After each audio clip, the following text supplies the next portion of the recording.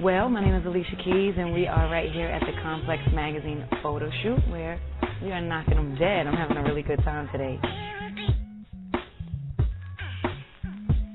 The best part of the day, I have to say, is the combination of the great people that have come together between Tippy, who does my hair, Shinsu, who does my makeup, Worry, who helps me style, and Randall, who's the photographer.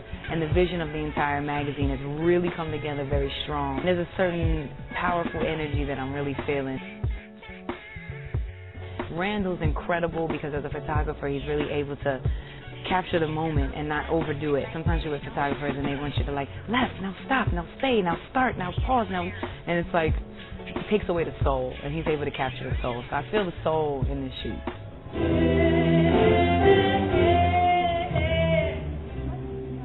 I can't even describe to you how ecstatic it makes me to be able to put out this music. The album is bananas. It is really so much variety, and I called it As I Am. It truly is a representation of who I am at this point and all the things that I've learned and the things that I've experienced and, and the way that it's made me become more clear about who I want to be as a person and as a woman and as an artist, you know? Because I'm so diverse.